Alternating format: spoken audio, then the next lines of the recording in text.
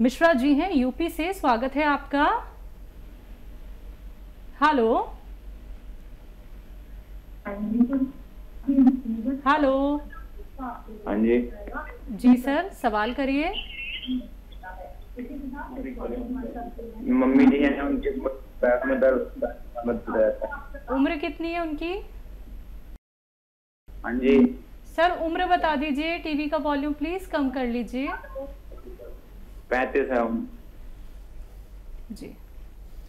तो देखिए पैरों में घुटनों में कमर में कहीं भी दर्द हो एक रॉ मटेरियल जिसकी ज़िम्मेदारी आपकी है कि वो असली खरीद लें। आजकल मैं देख रहा हूँ जगह जगह पर लोग उसको नकली दे रहे हैं और उसको कहते हैं गोंद सियाह। सियाह कहते हैं काले गोंद को। अच्छा हम जाते हैं दुकान पे तो लोग एक काला सा गोंद तो दे देते हैं, लेकिन वो गोंद सियाह नहीं होता, बल्कि वो एलवा होता है। एलवा चमकता है शीशे की तरह। तो गोंद सियाह लेना है, असली लेना है। अगर आपको ये चाहिए कि कैसा होता है तो मेरे फेसबुक या यूट्यूब पेज पर हकीम सुलेमान खान को पर देखें गौल सियाह कैसा होता है। सर्च करें, आप बच्चे हैं, ज़रूर सर्च कर पाएँगे। और ये खरीद लें, सौ ग्राम बस। एक ग्राम मिलता है पंद्रह सोलह रुपए का। और एक ग्राम, एक दिन में दो बार खाना है, आधा आधा ग्राम करके। ये एक राव मटेरियल है, कच्ची दवा है। गोंद है, गोंद सिया इसे कहते हैं, काला गोंद भी कहते हैं। असली ले लें, आधा आधा ग्राम मम्मी को नाश्ते के बाद और खाने के बाद एक चम्मच शहद में मिलाकर खिला दिया करें। नाश्ते के बाद और खाने के बाद। ये सौ ग्राम ख़त्म नहीं हो पाता कि आदमी का अच्छा होना मुमकिन है। असली लें और फ़ायदा उठाएँ और मम्मी का ऐसी ख्याल रखें। उनको फ़ायदा मुमकिन है। जी। हरियाणा से हैं नीलम जी। स्वागत है आपका। नमस्कार जी। जी नमस्कार मैम।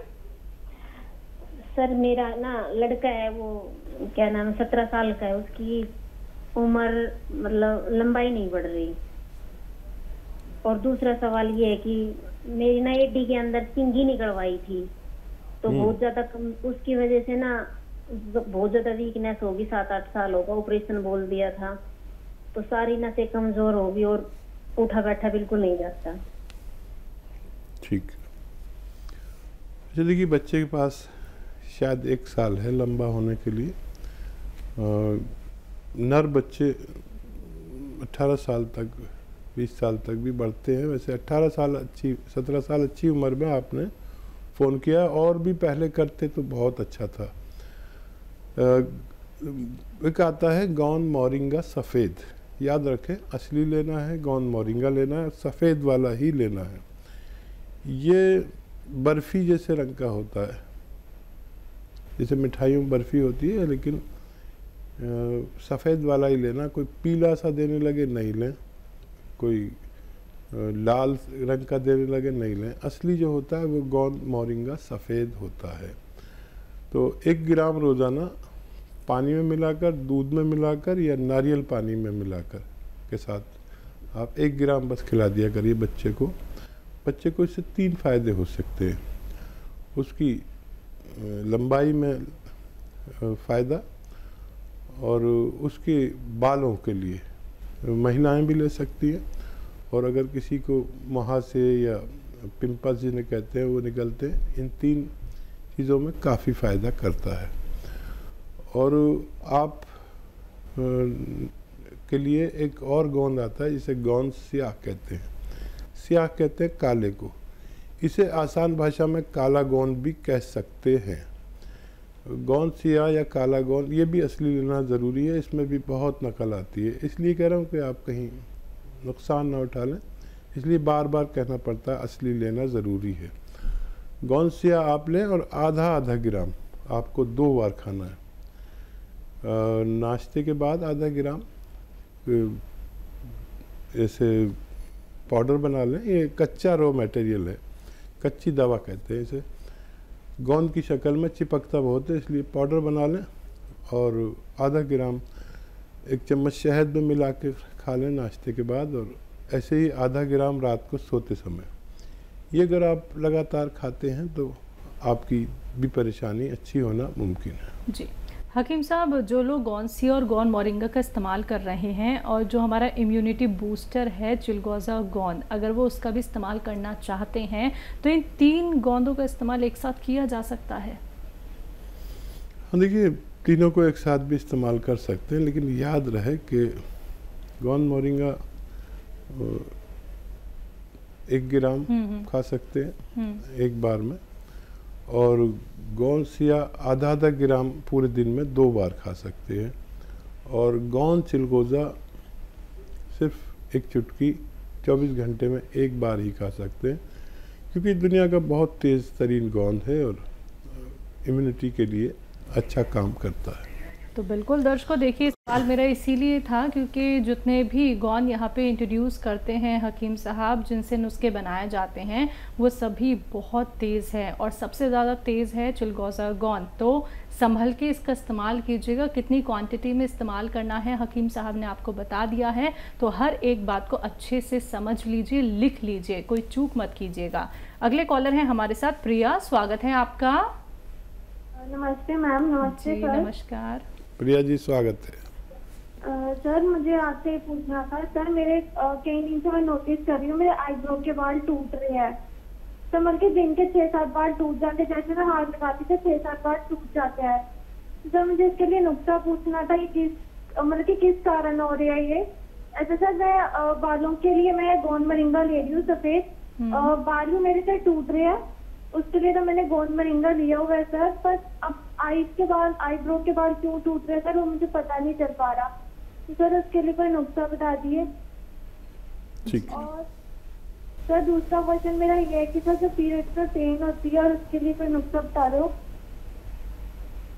हम्म, पहचान गए आप क्या कर? जी जी डेट्स में जो पेन होता है उसके लिए नुस्खा। अच्छा देखिए एक नुस्खा आप ले लीजिए। सिरका आता है कलौजी का। कलौंजी का सिरका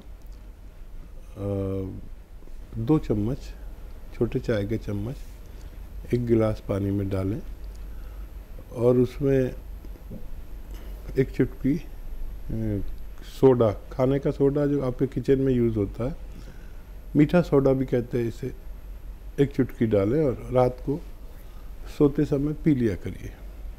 ये आपकी दोनों परेशानियों के लिए है। और किशमिश खाया करें मुनक्का खाया करें अंजीर खाया करें ये जो ड्राई फ्रूट है ये और अपने खाना पीना पौष्टिक करें तो आप तंदुरुस्त हो सकती हैं। जी। मुंबई से हैं हरि गुप्ता जी स्वागत है आपका। हेलो।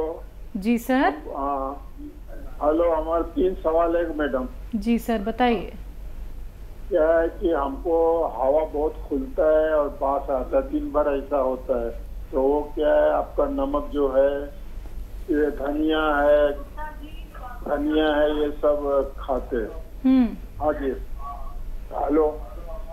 जी जी सुन लिया। और क्या सवाल? और मेरे औरत का क्या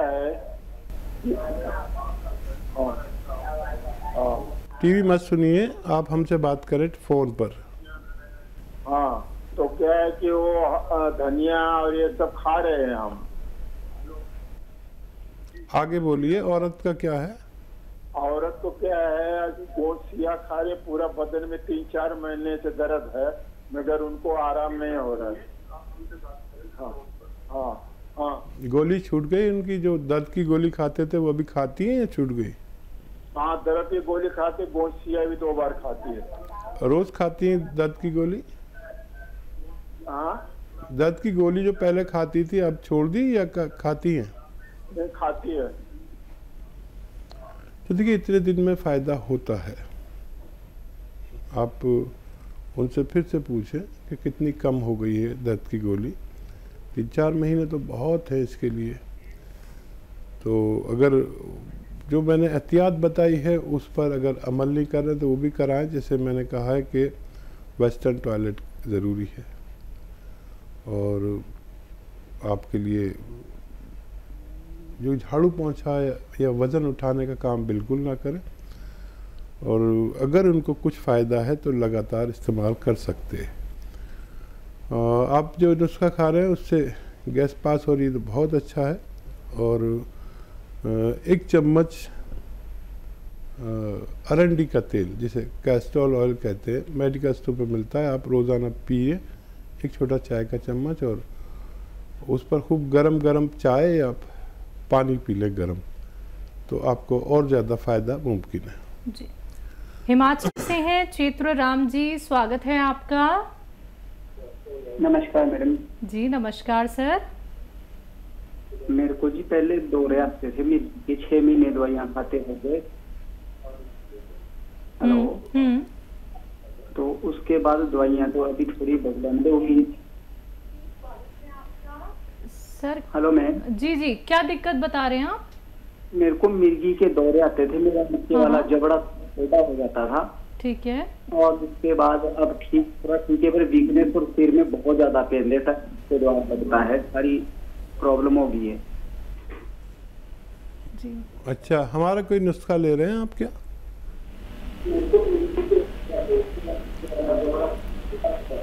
सर आप कोई नुस्खा अपना रहे हैं? हकीम साहब का? जी अभी तो बंद हो गई है दवाइयाँ तो मुझे तो वो ताकत की दवाइयाँ दे रहे हैं मेरे बॉडी पर उससे मेरे को लगता है कि मैं कुछ छह महीने खाते हो गए हाँ जी? अच्छा देखिए सबसे अच्छा दौरे या मिर्गी का इलाज एलोपैथ में ही है। आप वो दवाइयाँ छोड़ें नहीं लगातार लेते रहें। जब तक आपके डॉक्टर आपसे कहते हैं। लेकिन उसकी मदद के लिए आप एक नुस्खा ले सकते हैं। देखिए, आंवला, धनिया और सौंफ, ये तीन चीज़ों का पाउडर बनाएँ, हम वज़न लेकर, यानी सबकी मात्रा एक सी हो, सौ सौ ग्राम लेना है, तीनों चीज़ें सौ सौ ग्राम। इसका पाउडर बना लें और एक चम्मच इसको रात को सोते समय खाया करें और एक चुटकी में जितना नमक जैतून आए नमक जैतून एक ऐसा विशेष नमक है जो स्वाद में नमकीन नहीं होता। वो एक चुटकी दो गिलास पानी में डालें, एक गिलास में नहीं, दो गिलास पानी में। मिक्स हो जाता है आसानी से और ये नमकीन भी नहीं होता, पानी का स्वाद भी नहीं बदलता। एक चम्मच वो जो पाउडर मैंने आपको बनाने को कहा, वो खाकर ये पानी दो गिलास पी लिया करें और डॉक्टर की दवा जारी रखें। और हमसे संपर्क में रहें, अपना फ़ायदे के बारे में, हमें हर महीने, दो महीने में बताते रहें। तो बिल्कुल सर, हर एक उस बात पे गौर करिएगा, जो हकीम साहब ने अभी आपको यहाँ पे बताई है, क्योंकि देखिए, आपका ठीक होना बहुत ज़रूरी है और जैसा कि हकीम साहब ने कहा है कि डॉक्टर्स ने जितनी भी मेडिसिन आपको बताई हैं, वो आपको बिल्कुल नहीं छोड़नी है। देखिए, उसके साथ साथ आप नुस्खा अपना सकते हैं।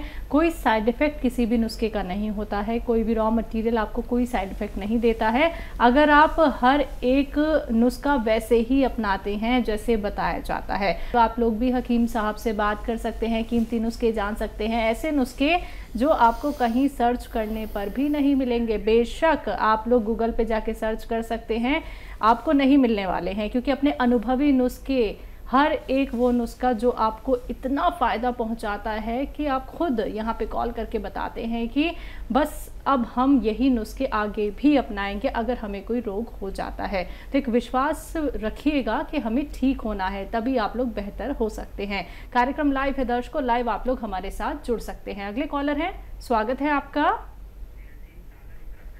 स्वागत है सर आपका। हेलो नमस्कार। जी नमस्कार आपका नाम क्या है? मेरा नाम नैन सिंह हकीम साहब को भी आदाब जय हिंद स्वागत नैन सिंह जी।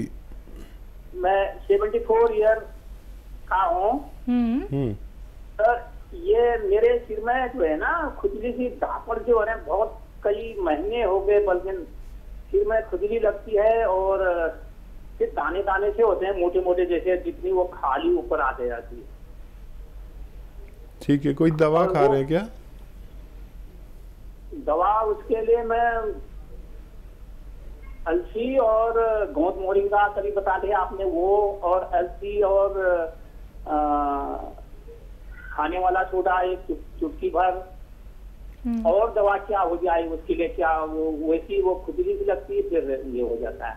दूसरा सवाल है सर मेरा ये मिसेज को मैं कई दिन से म, दवा खिला रहा हूँ जिसकी स्किन डिज़ीज़ जो होगी है इसमें बहुत मोरिंदा सफ़ेद हम्म, और अलसी और आंवला ये चीज़ मिला के और वो कुछ कलर तो चेंज हो गया लेकिन उसमें कितने दिन तक और खिलाना पड़ेगा जब तक? अभी थोड़ा सा चेंज हुआ लेकिन वैसी है वो। क्या उसमें परहेज क्या करना चाहिए? परहेज तो नहीं हो रहा कहीं गड़बड़। ठीक है। जी। अच्छा परहेज करने की ज़रूरत नहीं है और स्किन का रंग चेंज हो रहा है, ये आसानी, अच्छी बात है। यूनानी थोड़ा देर में फ़ायदा करती है, संयम वाले लोग इसे पूरा कर पाते हैं। और ये आप देते रहें, पानी से दें या कम चर्बी के दूध से दें। और आप भी लेते रहें, जो नुस्खा ले रहे हैं। और आप अपने सर में जो हमारी महिलाएँ देखिए पत्नी भी आपकी ऐसा ज़रूर करती होगी कि दूध की मलाई जमा कर कर के घी निकाल लेते हैं। वो वो घी अपने सर में लगाया करें और दो चार घंटे लगा रहे और फिर आप गुस्ल कर लें, नहा लें, स्नान कर लें। तो दो चार महीने लगातार इस्तेमाल लाजमी है यूनानी में। अगर पहले भी फ़ायदा हो जाए तो कोर्स पूरा करना चाहिए जितना आपको डॉक्टर बताएँ, आपको फ़ायदा मुमकिन है। और 74 प्लस में आपकी आवाज़ बड़ी करारी है और यकीनन आप मज़बूत इंसान होंगे या रहे होंगे। मैं दुआ करूँगा कि भगवान आपको जल्दी अच्छा कर दे। जी।